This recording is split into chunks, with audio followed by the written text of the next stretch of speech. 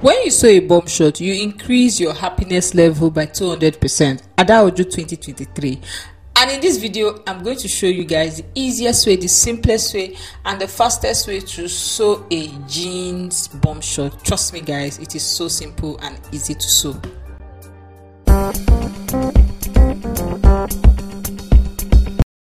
So I'm starting with my jean fabric on a fold. We're sewing a jeans bomb shot, so you need your jeans fabric, okay? So from the top, I marked one inch and I drew a straight line, okay? So you're going to mark one inch and you're going to draw a straight line. Mm? As we go into the tutorial, you see why I drew this one inch mark, okay? Now, from that point, I went downwards and I marked 13 inches for the length of this bum short. If you want your own to be bomb bomb shot, you can make it 10 inches. If you now want to sew pint, maybe you can make it smaller than that 8 inches 6 inches 7 inches i don't know so after marking 13 inches i went ahead to connect my markings with a straight line mm? okay so this is the length of the shot we are, the bum short we are working with so from the middle i also marked one inch and I connected my markings with a straight line as well. Now this one inch mark is where we are going to start our measurement from. Do you understand? So from the top, I went down by 9 inches and I marked my crouch length. If you don't know how to calculate your crouch length, your crouch curve, I have a detailed tutorial on this channel on how to do that. So just check the link in description box or the comment section. Now from that line, I went ahead to mark my hips divided by 4. Okay, you want to make sure you also add your my hips divided by 4 let me not confuse you. I mark my hips divided by 4 my hips is 44 so divided by 4 that is 11 so i connected the markings from my waistline to my crouch line okay? Now from that point I want to create my crouch curve now. So I mark three inches for my crouch for the width of my crouch, okay, and I just inserted my crouch curve, okay you can see how easy it is to just get your crouch length and your crouch curve. Now from the top the next i went ahead to do was i marked 8 inches which is like standard for our hip point okay? So i marked 8 inches for my hip point and i used my ruler and i connected my markings together okay? Okay. So this is my hemline my crouch line my hip line and my waistline okay now from the hem, I went ahead to mark the circumference of my thigh divided by 2. So my thigh is 26 inches divided by 2, that is 13 inches. And I just connected my tie my hemline to my crouch curve okay now i went to mark my waist point i went ahead to mark 8 inches for my waist that's my waist divided by 2 and from that point i extended my measurement up i, I extended that line upwards okay? I extended that line where i marked my waist upwards and i connected my waist to my hip point okay? So i connected my waist to my hip point.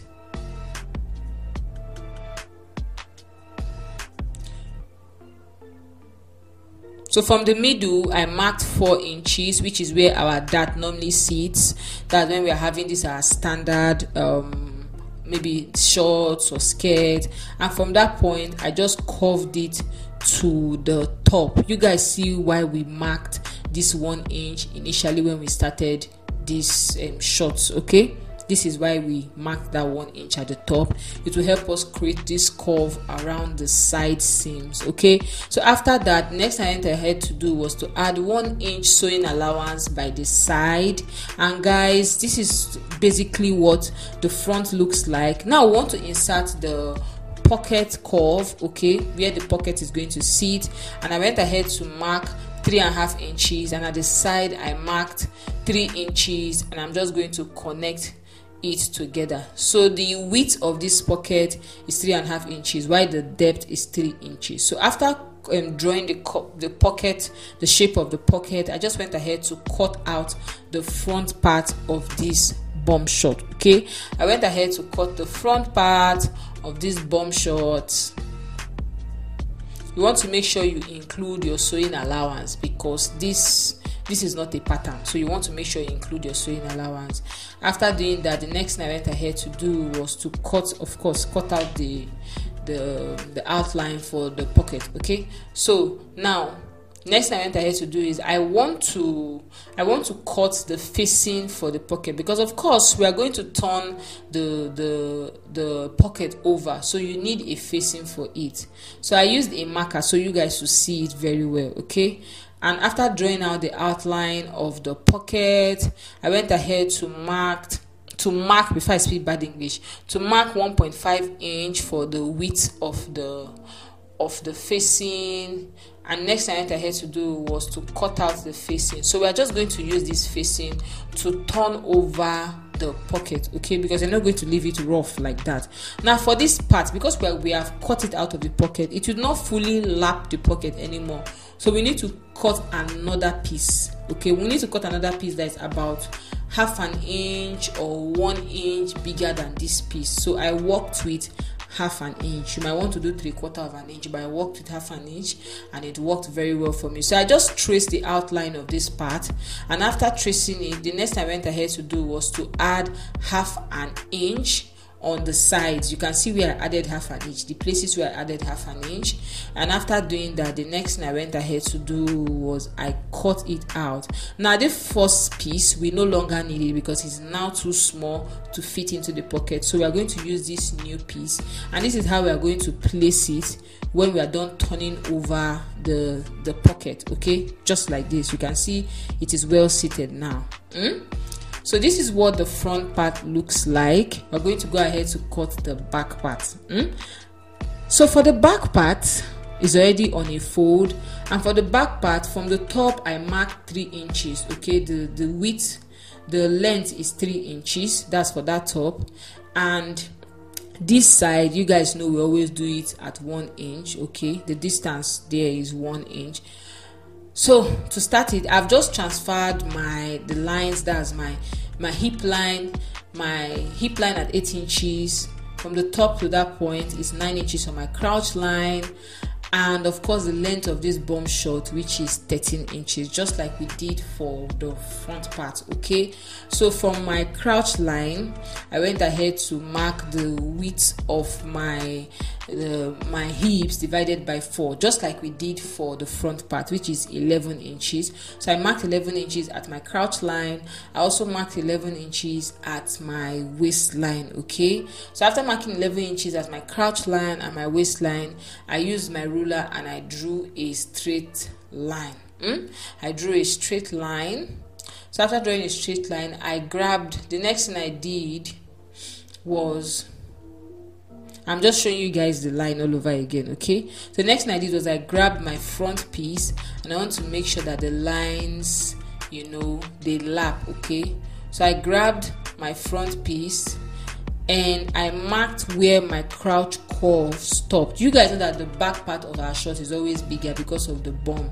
So I just used the front part to trace out my crouch curve, okay? And I marked where the crouch curve stopped, and from that point, I added 1.5 inch to the crouch curve that's to the length of the crouch curve okay and i also did that at the hem of the shorts because we need more length to accommodate the bum the bum bum okay? The front and the back there's always a little difference because of the bum so after doing that i drew a straight line. Not really a straight line a slanted line just to connect my markings together.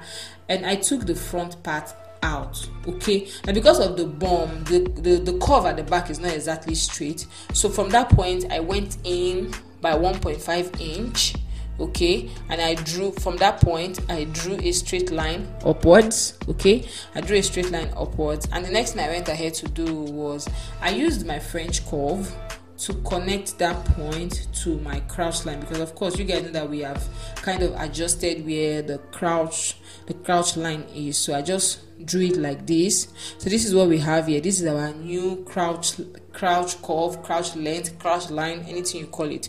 So from that point i went up by 1.5 inch and i'm doing this so that we'll have more allowance for the bum. And from the, from the middle or from that point i also went ahead to mark my waist at 8 inches.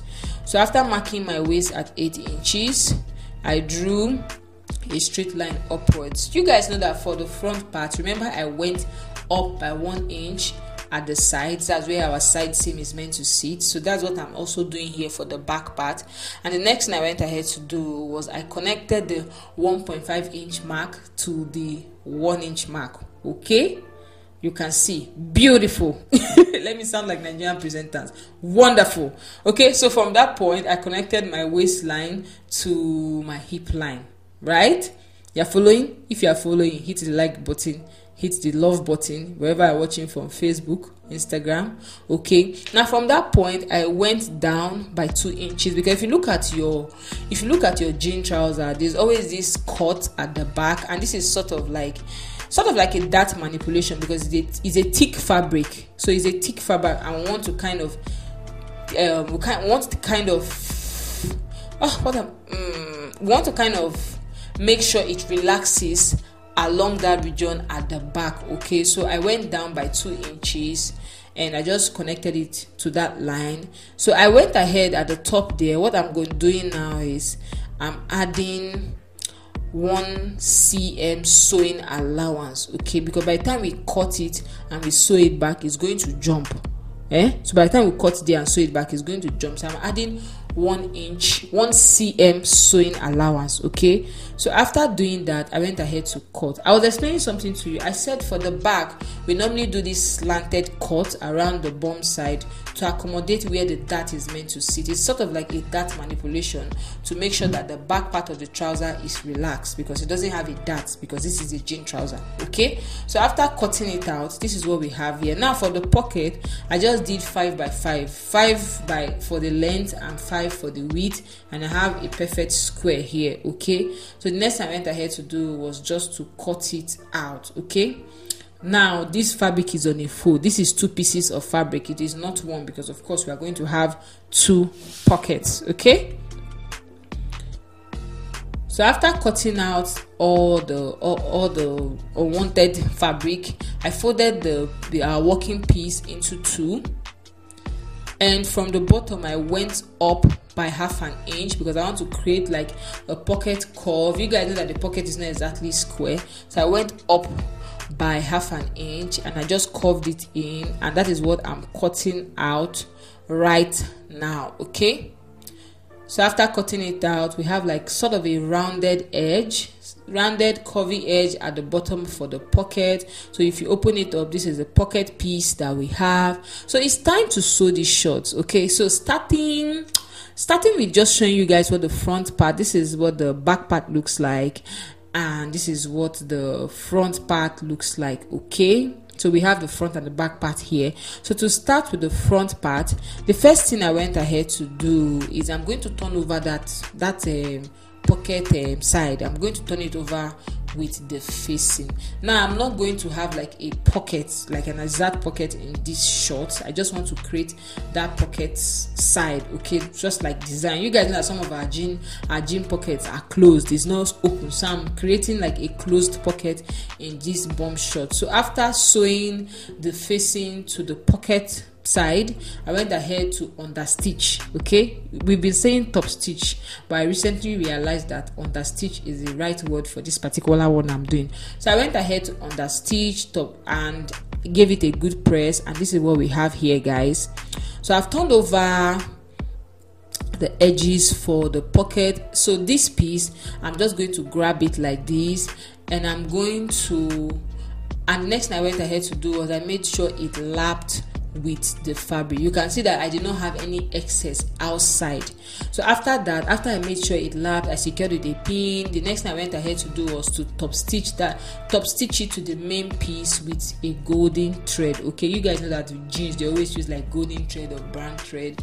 So i top stitched it to the jeans and this is what we have here guys. You can see how the back part looks like. You guys see where we, why we added that half an inch you know to that part so that we can lap it very well and everything will be well and put together. So i did this for the two the two pieces of the front part okay? Now we're just going to join the crouch curve for the front part so I went ahead to join the crouch curve for the front part. As I already I've already marked where I want my zip to be okay?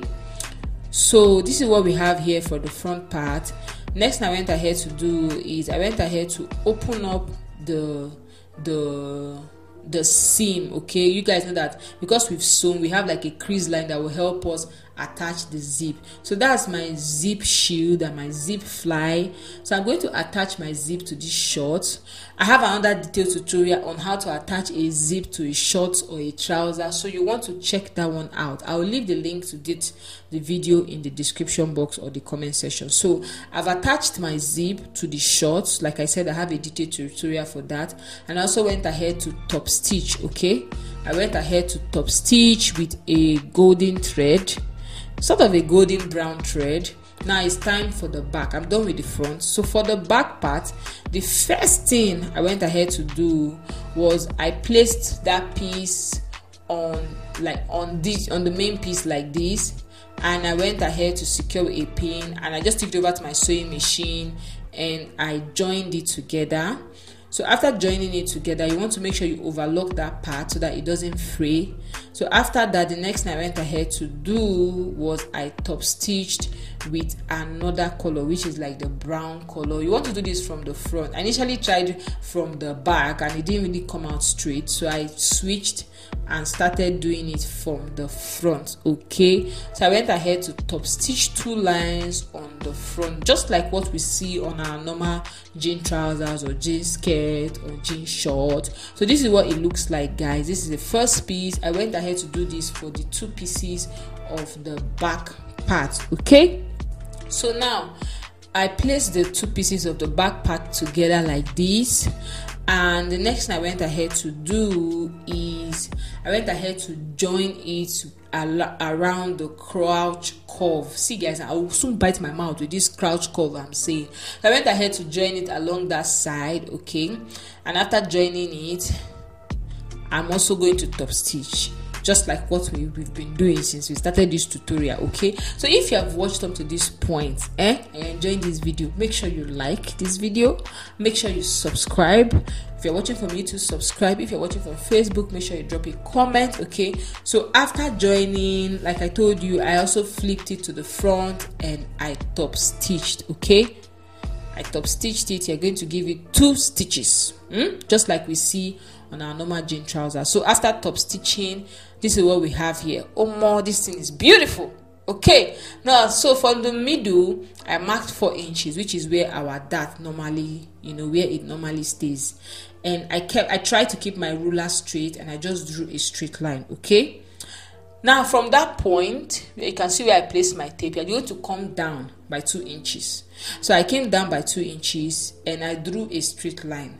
Now the reason why I'm drawing this is because we want to know where our pocket is going to be. Okay, so I drew a straight and I did this for both parts of the of the back part of um, the bum short. Okay, and this is my pocket piece. Hmm? So for the pocket piece, I've gone ahead to mark one cm on all sides but at the top where we're going to fold i came down by half an inch okay so on the sides i drew 1 cm okay i just drew 1 cm and from that top huh, I came down by half an inch, which is what I'm trying to explain with my plenty hand. I came down by half an inch at the top, but on the other side, I the I drew I came in by one cm. So I'm just going to take this over and I'm going to iron all my folds. Okay, so I ironed it so that it would be in place before I sew it. So after ironing it, the next thing I had to do was just to sew the top part. Okay, and I'm going to do this for the two pieces of the pocket so i'm going to sew the top part so after sewing the top part i did this for both pieces mm? you can do two lines if you want but me i did one line mm? so after sewing the top part i'm going to get the middle of the pocket just by folding it into two and marking the middle. And i just use my pin to secure it to the short okay? With the aid or with the help of that line that we have drawn. Just like we always say in our scientific classes. Yeah so next thing i went ahead to do was to attach the pocket to the shorts with two lines. And i just i just follow the outline of the shape of the pocket to attach it to the shorts okay? So after attaching it this is what we have here guys. Or more it is at this point i fell in, in love with these shorts more mata makata welcome to my studio. Okay so after attaching the pocket to the back part of the short the next thing i went ahead to do is i place the front part of this bum short on the back part and i'm just going to attach the crouch the crouches the crouch curves together. And next i went ahead to do was to join it at the crouch curve. After joining at the crouch curve I top stitched it as well, just as we've been doing since we started this tutorial. Mm? I top stitched it. Mm? So after top stitching, I flipped it over and from the back, I marked my measurement. Okay, so I marked my measurement around the hem. I went in instead of by one inch because I added one inch sewing allowance. I went in by 1.5 inch because I wanted it to be a little firm. You understand? I wanted it to be a little tapered. Let me not firm, a little pencil, not so much pencil, but a little yeah? So after doing that next thing i went ahead to do was i joined the side seam you will see that i remarked my waist measurement. You can see two lines there. That is because i just decided to verify my waist measurement again and i realized that i've lost one inch. That is the reason why i quickly went to go and readjust my waist because it's not easy to lose one inch okay? I'm happy. Kumbaya my people so next you want to do after cutting that excess you want to make sure you weave or you overlock so that it doesn't fray okay? Now the next thing i went ahead to do was to attach my band. The width of this band is two and a half inches. You can make yours bigger. So this is two and a half inches and i went ahead to iron it eh, I went ahead to iron it so that it, it, it's on a fold. So to attach it to the waistline, I just um, opened it up and attached it to the waistline, just as you can see here. Okay. So after attaching it, you can see that I'm just attaching it like joining it with stitches. I'm going to flip it like this, eh? and I'm going to sew that part. Hmm? I'm going to sew that part. So I took it back to my sewing machine, flipped it over, and I joined that part. So after doing that, I went ahead to just turn it in. Hmm? Very simple, guys. There are different ways to attach your band. This is just my own way of attaching my band. So to to finish up the band, what I went, what next I went ahead to do was I'm just going to fold it in like this. I don't know how to explain this thing to you in English, so just look at what I'm doing. I'm going to push the seam in, that's push the seam upward. You're going to fold the band and you are going to under stitch because people have warned me that it's not top stitch anymore. But just pardon me, you're going to top stitch. Hmm? Pardon me this one time. So you're going to fold it like that and you're going to top stitch, hmm? which is what I did. So after top stitching, you can see how neat or more beauty. you can see how neat it looks. You want to do it carefully. Don't be so fast. Me, I did my own small, small because this race in this life is heavenly race and singly. I'm not running to anywhere. Mm-hmm. So after top stitching, this is what we have for the waist. Now let's go over to the turn up because this bomb shot has a turn up going on. So the width of this fabric of this band is three inches and of course we're going to fold it into two okay? So on the right side of the fabric because we are doing the turn up with the wrong side of the fabric. So on the right side of the fabric i just mark the circumference of my thigh okay? I mark the circumference of my thigh and I drew a straight line from the top to the bottom of the band. I did this for both pieces and I took it back to my sewing machine and I just joined the pieces together. So after joining the pieces together, you see that excess you don't you are not going to use for anything. Cut it away the way you are going to cut off bad friends. Okay? Cut it away which is what i did. So after cutting it away i'm going to open i opened that point and i gave it a good press. And i also folded the the band into two and i gave it a good press okay? So i did this for both pieces of the band okay? So after giving it a good press you can see it's well relaxed. I went ahead to sew the band so that it is in place. It's not moving around when i want to attach it to the short. So this is what we have here the front piece the two pieces for the two legs okay? Now to attach the band the turn up I, I, I keep calling it band. To attach the turn up you're going to put it into the shorts like this. You want to make sure that that part you joined it's on the side seam that place where the that place you joined around the turn up you are going to merge it with the line on the side seam okay so i'm just going to join it like this okay so i took it to my sewing machine and i just ran straight stitches mm? I ran straight stitches to join the turn up fabric or the turn up band. I don't know I keep calling it the band, but you guys understand what I'm saying. Okay, yeah, so I joined it to the short. After joining it, I top stitch on the shorts not on the band. Eh? I top stitch on the short, okay? I'll be under stitch anyone. You guys understand what I'm saying? And I went ahead to attach my button to the waist, okay? Attach my button to the waist, and guys, this is the short. Ha! Even when I showed my husband, he was like, wow, it's beautiful. This is the short. If you enjoyed this video, make sure you give this video a thumbs up. Don't forget to hit the subscribe button if you're watching from YouTube.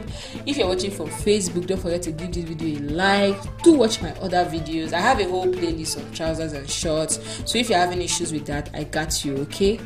I'll see you in my next video. Bye, guys.